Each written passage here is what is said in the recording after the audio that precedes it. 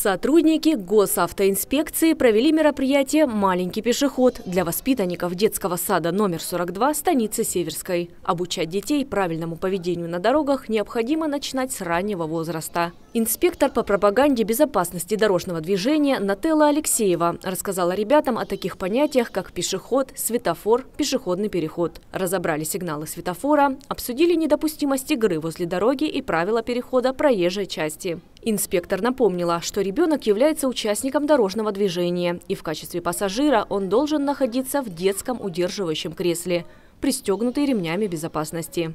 Закрепили полученные знания в игре, получив при этом массу положительных эмоций. Юным участникам встречи подарили воздушные шары, символизирующие цвета светофора.